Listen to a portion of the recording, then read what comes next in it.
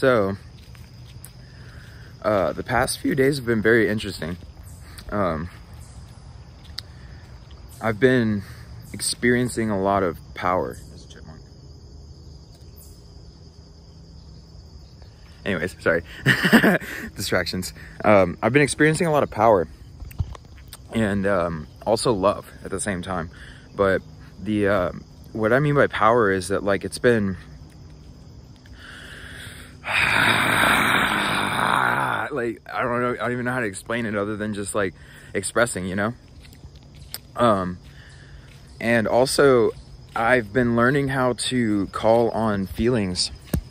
Goodness gracious. Almost walked straight into a uh, spider web. Check this out. There's that big one too. Um, I'll just go this way.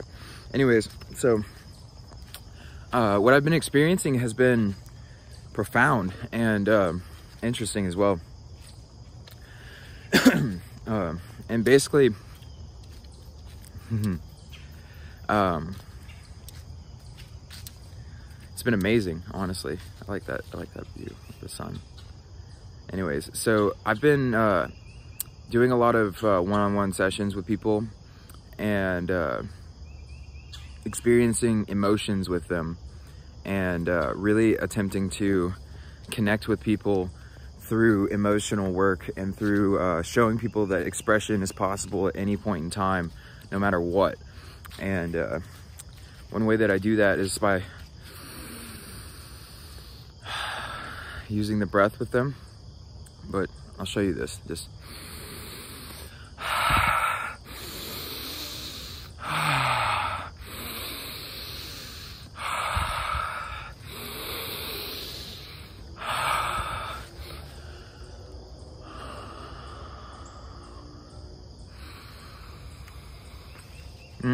So the point is to allow the self to let go so that emotions can flow through fully. Um, and the more that you do it, the more that you will be able to allow yourself to be let go in order to experience um, experiences that are outside of the self. And what I mean by the self is the ego self. And um, everything is the self, but when it comes down to it, there's an ego experience and then there's a observer who is observing the ego. And when you focus your attention back into the self and you start to see the aspects of the self that you have been um, repressing or ignoring and then you start to understand that there is no such thing as a polarity in the reality of things. And what that means is that even emotions and feelings and thoughts and forms and things like that that are experienced as being negative normally by the ego, um, in reality have no negative charge. And what that means is that they're completely open and they're able to be manipulated by um, the mind, and the mind being this infinite consciousness. So as you start to shift the way that you look at things, and you start to shift the way that you see all feelings, thoughts, and experiences, then what happens is that um, the experience of the self starts to change to where you start to understand that your entire experience, not just not just the things that you do, but also the emotions that you feel, the uh, the people that you experience, like the emotions that you feel from them as well. All of that stuff is created by you, and it's created by a part of you that really wants to connect to all levels of life. So there's a part of you that really wants to see what it feels like to feel separate and to feel like, um, I guess, sadness, upset, anger, depression, power, manipulation, exploitation, control, all that kind of stuff. There is a part of the self that wants to experience all that. But there's also a part of the self that knows that it is infinite in its own scope and that in that infinite nature, what that means is that these emotions and feelings and thoughts and forms, like once you get to a point of experience where you start to master the self, then you start to understand that you don't have to experience anything that makes you feel uncomfortable. And the only way that you do that, or not the only way, but like what I mean is like the way that you that you switch that up, I guess, if you want to call it like that. And check this out.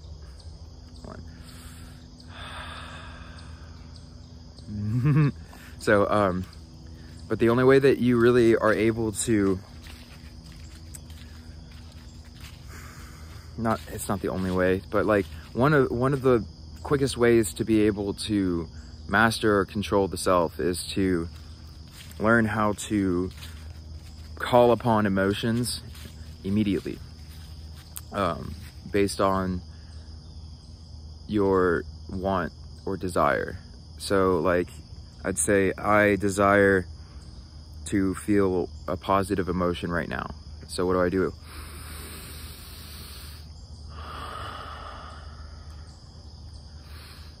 You see, you see how that changed for a second too? The light, I mean, on the throat. It's because the, uh, it's reflecting something, so.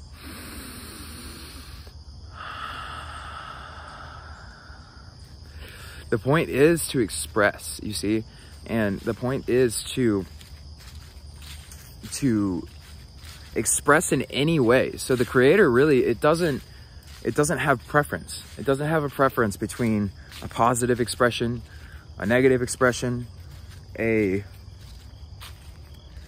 good thing, a bad thing, um, a service to self, a service to others.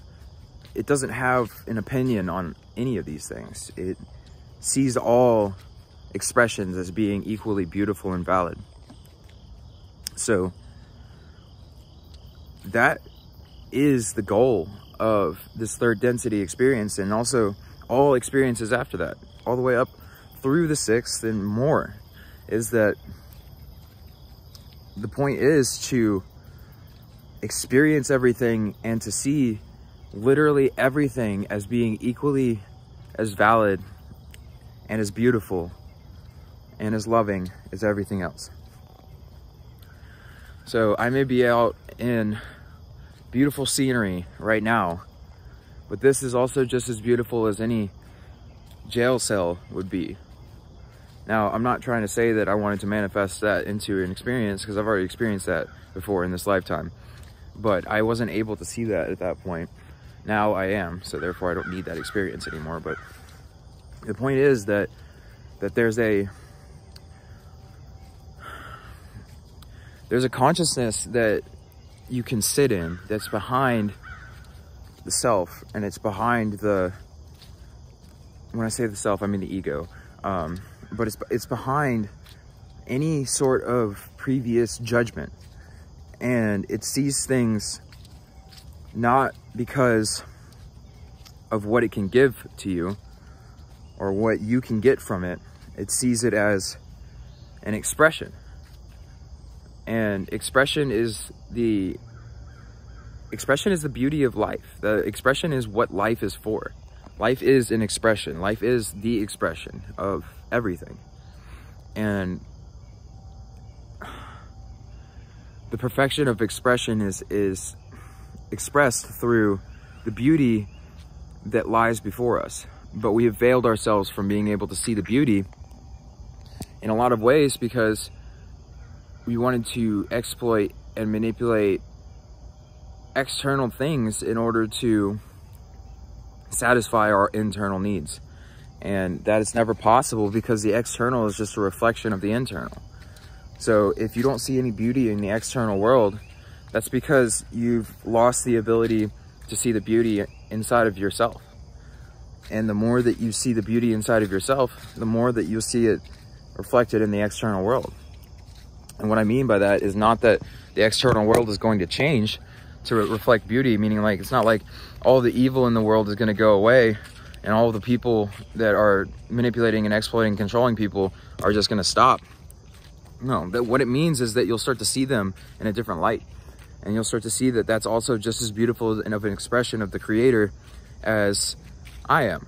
And that's just as beautiful an expression as you are. And that's just as beautiful an expression as the um, Buddha or the Christ or any of these other Krishna, any of these, right?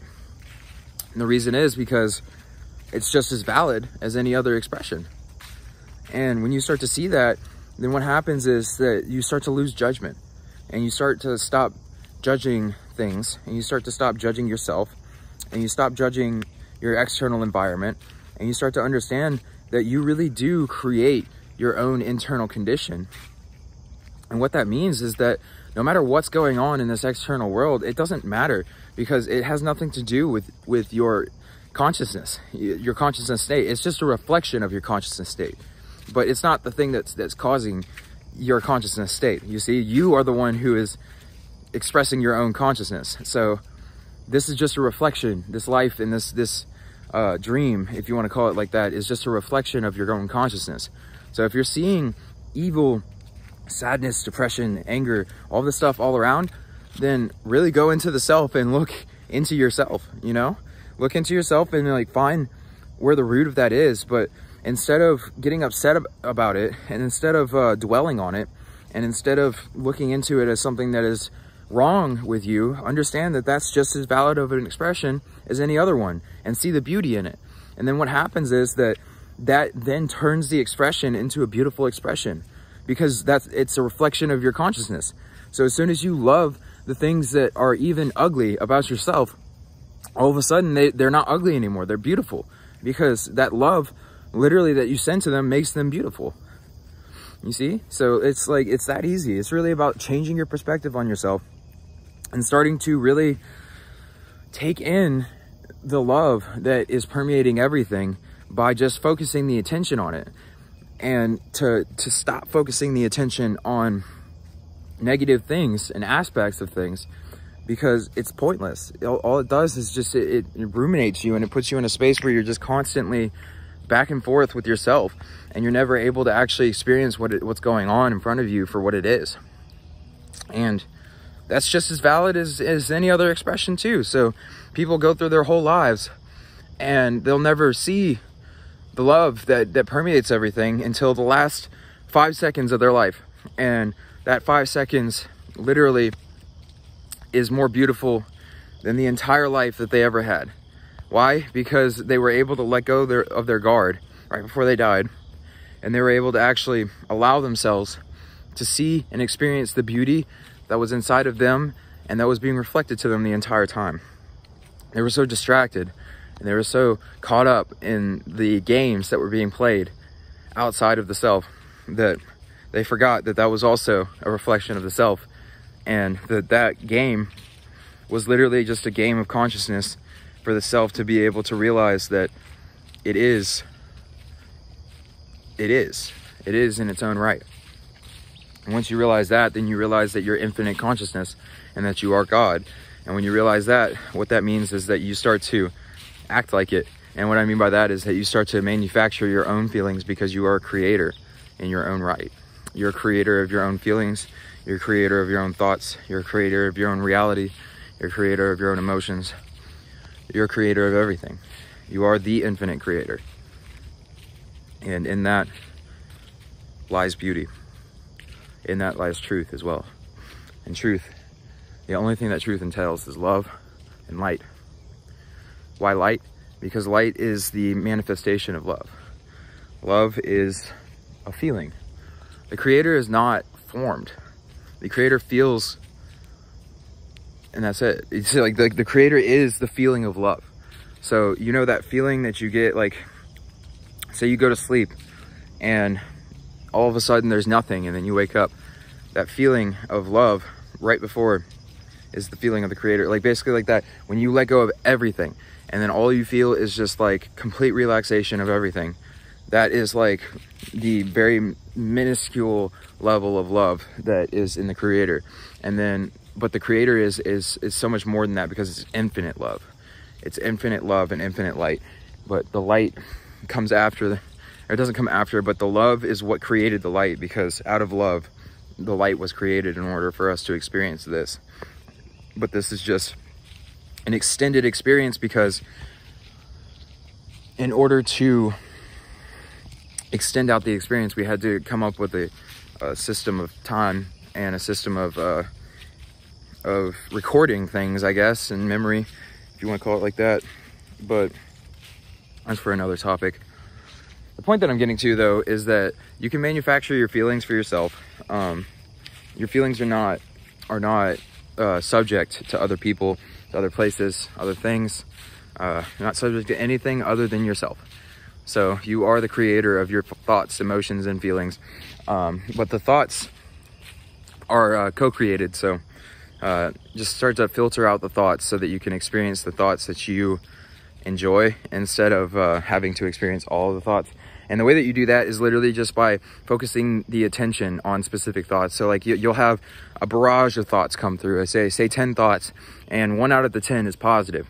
You have to choose to let go of all nine of those and to only focus the attention on that one. And then the next time you'll have eight thoughts that come through that are negative and you'll have maybe two that are positive. Focus the attention on the two that are positive and let go of the ones that are negative. Uh, no matter how gripping the story is, no matter how much you want to, uh, you want to believe it because it's trying to convince you because, you know, oh, but I did this to this person and then this happened and then like blah, blah, blah. All that is uh, an illusion. That's all fantasy. Okay. So your past is fantasy. Uh, your future is fantasy. All right. Uh, all, the only thing that's real is this present moment right now. And that reality is that that reality is. Um, the fact that we are experiencing, this is how you lose fear of death as well, uh, is that you just realize that you are experiencing no matter what. So the fact that you are even capable of, of um, seeing that this is real, or like not even real, real is the wrong word. So the fact that you are literally conscious, right?